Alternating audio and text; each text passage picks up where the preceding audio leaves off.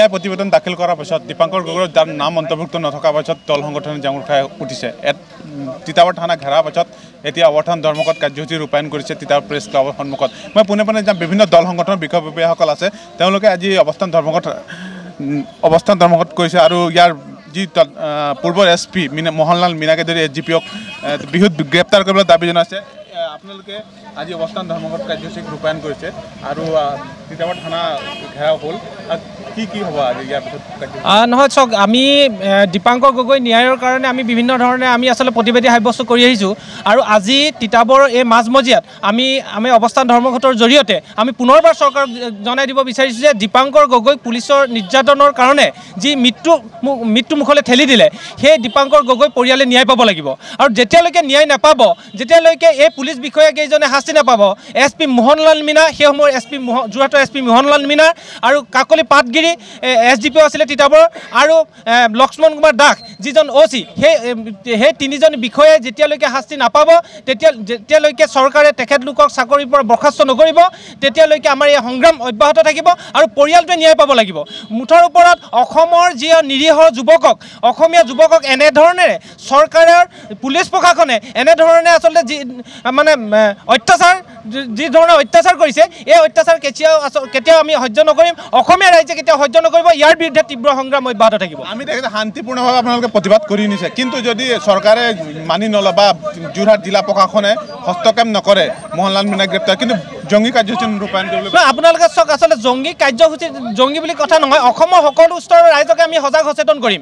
আচলতে এইখন চৰকাৰে মুখ্যমন্ত্ৰীয়ে যি মুখ্যমন্ত্ৰীয়ে কয় যে এইখন চৰকাৰে সদায় মানে ৰাইজৰ পক্ষত থকা বুলি কয়। কিন্তু আমি ৰাইজৰ পক্ষত আছেনে? পুলিচৰ নিৰ্যাতন এই অসমীয়া যুৱকসকলে এইখন চৰকাৰৰ দিনত ভোগ কৰিবলগীয়া হৈছে। এই কথাটো অসমৰ ৰাইজে এতিয়া সকলোৱে জানে। গতিকে আমি এই যদি অকণমানো সদিচ্ছা আছে অসমীয়া ৰাইজৰ প্ৰতি যদি অকণমানো সদিচ্ছা আছে মুখ্যমন্ত্ৰীয়ে যিহেতু গৃহ বিভাগত দায়িত্বত আছে তেখেতলোকে এই এছ এই- যিকেইজন S P S D P আৰু অ' চি তাৎক্ষণিকভাৱে তেখেতলোকক উপযুক্ত শাস্তিৰ ব্যৱস্থা গ্ৰহণ কৰক। গ্ৰেপ্তাৰ নকৰা পৰ্যন্ত তেওঁলোকে শান্ত নাথাকে তেওঁৰ ভগ্নী আছে। কিন্তু এই মুহূৰ্তত আমি দেখিব কোনো ব্যৱস্থা গ্ৰহণ কৰা নাই জিলা প্ৰশাসন বা হয় আজিৰ পৰা ছমাহৰ আগতে মই এজাহাৰ দিছিলোঁ তিতাবৰ থানাত। তিনি অভিযুক্তৰ ওপৰত এজাহাৰ দিছোঁ। এছ পি মোহনলাল মীনা তিতাবৰ থানা অ' চি লক্ষ্মণ দাস তাৰপৰা এছ ডি পি অ' এই তিনিগৰাকীৰ ওপৰত এজাহাৰ দিছিলোঁ। কিন্তু আজিলৈকে সেই তিনিগৰাকীৰ ওপৰত একো চৰকাৰে ব্যৱস্থা একো প্ৰশাসনে ব্যৱস্থা লোৱা নাই। কিয় ব্যৱস্থা লোৱা নাই? আমি আগৰ পৰা কৈ আহিছিলোঁ যে মোৰ ভাইটি দীপাংকৰ গগৈ এই ক্ষেত্ৰত জড়িত নাই। আগৰ পৰাই কৈ আহিছোঁ এতিয়াও কৈ আছোঁ। কিন্তু এন আই চাৰ্জশ্বিট দাখিল কৰিলে। সেই চাৰ্জশ্বিটতো মোৰ ভাইটি দীপাংকৰ গগৈ নাম নাই। দুৰ্ভাগ্যক্ৰমে মুখ্যমন্ত্ৰী ডাঙৰীয়াই কৈছে যে মৰামিটুকৰ এন আৰ চিৰ চাৰ্জশ্বিটত নাম দাখিল নহয়। সেইটো কেনেকৈ হ'ব পাৰে? যদি আমাৰ মোৰ ভাইটি দীপাংকৰ গগৈ দোষী হয় তেনেহ'লে নিশ্চয় তাৰ নাম থাকিলেহেঁতেন। কিন্তু আমি এইটো কেতিয়াও নামানো। বিদ্যুৎ বিদ্যুৎ শইকীয়া ডাঙৰ আছে। আপোনাক আপোনাক আপোনাক আপোনাক এটা কথা আমি স্পষ্ট হয়।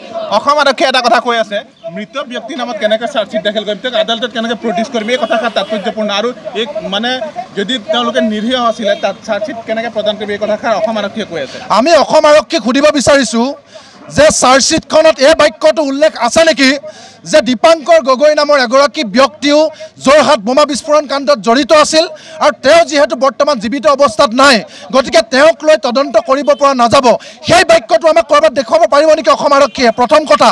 আৰু দ্বিতীয় কথা যোৰহাট বোমা বিস্ফোৰণ কাণ্ডৰ লগত পৰেশ বৰুৱাৰ নাম দিছে। কোনোবা অসম আৰক্ষীয়ে তেতিয়াহ'লে জানে নেকি যে পৰেশ বৰুৱা বৰ্তমান ক'ত আছে?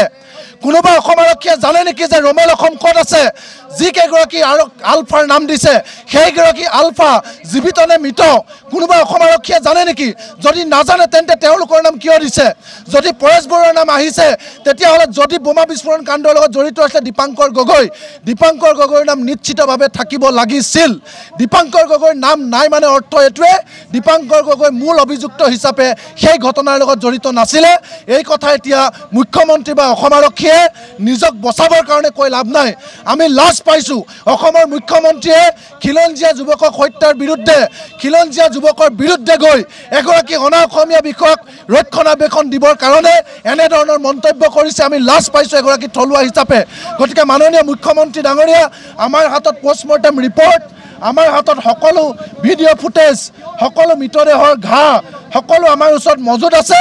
গতিকে এই প্ৰমাণ সাক্ষীৰ পিছতো যদি আপুনি এতিয়াও যদি ক'ব বিচাৰে যে দীপাংকৰ গগৈ হত্যাৰ লগত অসম আৰক্ষী জড়িত নহয় তেতিয়াহ'লে আমি প্ৰমাণ কৰি দেখুৱাম যে কেনেকৈ দীপাংকৰ গগৈক অসম আৰক্ষীয়ে হত্যা কৰিছিলে। যে মুখ্যমন্ত্ৰীয়ে যদি ন্যূনতম অসমীয়া মানুহৰ প্ৰতি দায়বদ্ধতা আছে তেতিয়াহ'লে মোহনলাল মীনা কাকলি পাটগিৰি আৰু অ' চি লক্ষ্মণ কুমাৰ দাসক গ্ৰেপ্তাৰ কৰিবৰ কাৰণে দাবী জনাইছোঁ। ডি জি পি মহোদয়ে এজন সাধাৰণ এছ আই ৰেংকৰ অফিচাৰবিলাক তাৎক্ষণিক ব্যৱস্থা গ্ৰহণ কৰে। কিন্তু I G P I G P ক্ষেত্ৰত বা আই এছ আই পি এছৰ ক্ষেত্ৰত কোনো ব্যৱস্থা গ্ৰহণ নকৰে। এই ক্ষেত্ৰত যথেষ্ট তাৎপৰ্যপূৰ্ণ। আমি তাকে কৈছোঁ যে সাধাৰণ নদাই বদাইক দেখিলে তেওঁলোকে খেদা মাৰি গৈ ছাছপেণ্ড কৰে। ট্ৰেফিক পুলিচ এজনক ছাছপেণ্ড কৰে। অসমীয়া থলুৱা সাধাৰণ পুলিচ বিষয়া এজনে সামান্য ভুল কৰিলে হোমগাৰ্ডক ছাছপেণ্ড কৰি ফেচবুকত দিয়ে। কিন্তু অনা অসমীয়া বিষয়াক কিয় আজি নাকি লগাব পৰা নাই জি পি সিঙে?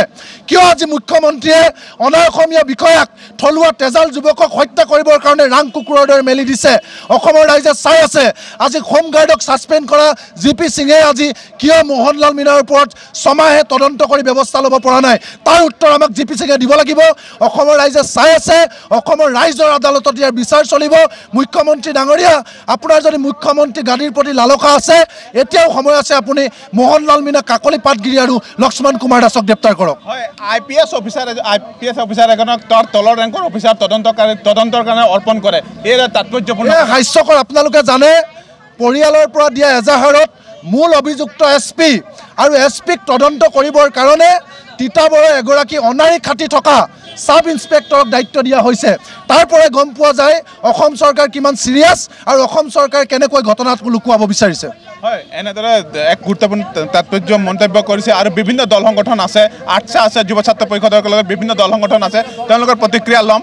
হয় ছাত্ৰ উপস্থিত হৈছে আপোনালোকে প্ৰতিবাদ কাৰ্যসূচীত কি ক'ব এই মুহূৰ্তত? হয় আচলতে দীপাংকৰ গগৈ যিটো হত্যাকাণ্ড এইটো একদম মানে ৰহস্যজনক হত্যাকাণ্ড হৈছে। অসম চৰকাৰৰ আৰক্ষী বিষয়া তেখেতক যি ধৰণে এ, যি ধৰণে কাণ্ড কৰি তেখেতক মৃত্যু হোৱা পৰ্যন্ত তেখেতক মানে বাধ্য পেলালে সেইটো একদম আচলতে অসমবাসীৰ বাবে বা অসম আৰক্ষীৰ বাবে এটা লজ্জাজনক বিষয়। আচলতে এই বিষয়টোক সম্পূৰ্ণভাৱে তদন্ত কৰিবলৈ দিয়া হৈছিলে আৰু ন্যায়ে ইতিমধ্যে সেই তদন্ত কৰি চাৰ্জশ্বীট দাখিল কৰিছে আৰু এই চাৰ্জশ্বীটত দীপাংকৰ গগৈয়ে যে কোনো বীমা বিস্ফোৰণত তেখেতে জড়িত নাছিল সেয়া প্ৰমাণ হৈছে। কিন্তু এতিয়া পৰ্যন্ত যিসকল আৰক্ষী বিষয়াই এই এই কাণ্ডটোত জড়িত আছে তেখেতলোকক যে এতিয়ালৈকে মানে অসম চৰকাৰে হওক গ্ৰহণ কৰা নাই। হয় বিভিন্ন দল সংগঠন আছে তেওঁলোকৰ ল'ম। এ, আপোনালোকে আহি উপস্থিত হৈছে বিভিন্ন দল সংগঠন আছে ইয়াত। হয়। এক তাৎপৰ্যপূৰ্ণ মন্তব্য। আই পি এছ বিষয়াগৰাকীৰ ওপৰত তদন্ত কৰিবলৈ এজন এছ আৰ ৰেংকৰ বিষয়াক দিয়া হ'ল। এক হাস্যকৰ বিষয় কি ক'ব? আচলতে গোটেই গোটেই ঘটনাটো আহ, ৰহস্যজনকভাৱে হৈ- পৰিছে। আচলতে এজন আই পি এছ বিষয়াক এজন নিম্ন খাপৰ এজন বিষয়াৰ দ্বাৰা তেওঁলোক তেওঁৰ ওপৰত তদন্ত কৰিবলৈ দিয়া আছে সেই কথাতে গম পোৱা যায় আচলতে অসম আৰক্ষী বা অসম অসমৰ গৃহ বিভাগ কিমান এই ঘটনালৈ কিমান চিৰিয়াছ আচলতে তাতে গম পোৱা যায়। আৰু এই যে এই যে গোটেই ওপৰৱালা যি এছ পি ডি পি আৰু অ' যে ৰক্ষণাবেক্ষণ দিছে ইয়াতে প্ৰমাণ হৈ পৰিছে। হয় সকলো দল সংগঠনে এটা কথাই বাৰম্বাৰ কৈছে এই সম্পূৰ্ণ বিষয়টোত মুখ্যমন্ত্ৰী ডাঙৰীয়া হস্তক্ষেপ আৰু ডি জি পিক সম্পূৰ্ণ বিষয়টোত তদন্ত কৰিবলৈ আৰু বিহিত ব্যৱস্থা গ্ৰ- গ্ৰহণ কৰিবলৈ আই পি এছ মোহনলাল মীনাৰ ওপৰত দাবী জনাইছে।